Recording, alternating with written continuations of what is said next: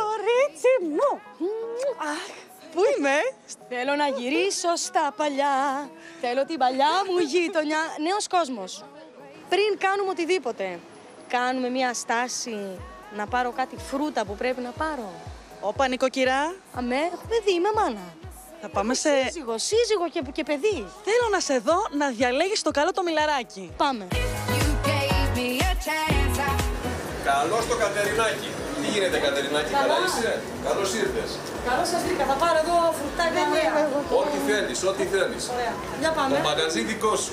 Πώς είναι η ζωή με τη μικρή; Η ζωή με τη μικρή είναι πάρα πολύ ωραία. Είναι καθημερινά ένα θαύμα γιατί μ, ε, μεγαλώνει, επικοινωνεί. Είναι και δύσκολα για να μην λέμε ότι η ζωή, ότι η ζωή είναι ταινία. Επειδή τυχαίνει να ξέρω τον Δημήτρη. Ναι. Τι σύντροφος είναι, δηλαδή θα ξυπνήσει το πρωί και θα σου πει Τι όμορφη που είσαι, Κατερίνα μου. Όχι. Δεν είναι τέτοιος σύντροφος, αλλά είναι ο σύντροφος που ε, θα είναι επί της ουσίας δίπλα σου. Δηλαδή είναι βράχος. Είναι αυτός που θα σε φροντίσει χωρίς να σου πει πολλά. Δεν είναι, με τα λόγια δεν είναι. Εσύ με τα λόγια; Εγώ είμαι καψούρα τέρμα με το Δημήτρη το Στεργίου.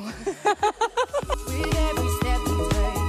Kyoto to the base. Έχεις ωραίες αναμνήσεις. Είναι ανάμεικτα τα συναισθήματά μου γενικότερα. Γιατί ε, είχα και μια κολλητή που την έχασα, οπότε ξέρεις αυτό ε- είναι από μόνο του βαρύ. Ε, α, ναι, ναι, μαζί, ναι, ναι, στα, στα, στα 26 μου. Ναι, μου θυμίζει αυτό και επίσης, εντάξει, με το σχολείο δεν μπορώ να πω ότι μου άρεσε το σχολείο. Τώρα που είσαι μαμά, ε, δέχεσαι τον ε, λεγόμενο μαμαδοπόλεμο στο, στα social media; Ρε παιδιά, δεν μπορώ με αυτό. Δηλαδή, ο μαμαδοπόλεμος δεν ξέρω τι παθαίνουνε. Σε παίρνουν, σε ρωτάνε πόσα κιλά πήρατε, μετά τα χάσατε και όλο αυτό.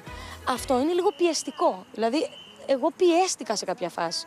Αλλά ρε παιδί μου, μου δημιουργήσανε άγχος. Σου είχε έρθει ποτέ κάποιο σχόλιο για την εμφάνισή σου που σε ενόχλησε; Ναι, κοίτα, εγώ γενικά δεν πειράζω τις φωτογραφίες μου, ε, μόνο το φως πειράζω. Και ανεβάζω, ας πούμε, κάποιες φωτογραφίες.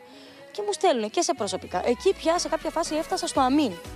Ε, μου στέλνουν, Α, κυλίτσα βλέπω, μου στέλνει μία. Μετά μια άλλη, πάμε για το δεύτερο. Και αναγκάστηκα να κάνω ένα story. Ε, και έγραψα το εξής με μια φωτογραφία μου. Έχω κολίτιδα, σπαστική κολίτιδα, συγγνώμη. Γιατί όντως έχω. Δηλαδή, μπορεί το πρωί να με δεις με αυτό πλάκα και μετά από μια ώρα με την κοιλιά εδώ. Έχω πρόβλημα, όντως. Το είχα και πριν την εγκυμοσύνη, δηλαδή, συγγνώμη. Α, θέλω να πω, κατάλαβες. Αυτό δεν είναι ωραίο. I would away forever. Έχεις σκεφτεί κάποια στιγμή να αφήσεις τη δουλειά σου και να πεις θα αφοσιωθώ μόνο στο παιδί. Προτεραιότητά μου είναι το παιδί και η οικογένειά μου και ο άντρας μου. Ε, Όμως ε, θέλω να έχω και τη δουλειά μου να υπάρχει μια ισορροπία. Και αυτό ξέρεις, δεν το καταλαβαίνω. Δηλαδή, μια ηθοποιό τη ρωτάνε, ε, ε, θα άφηνες τη δουλειά σου.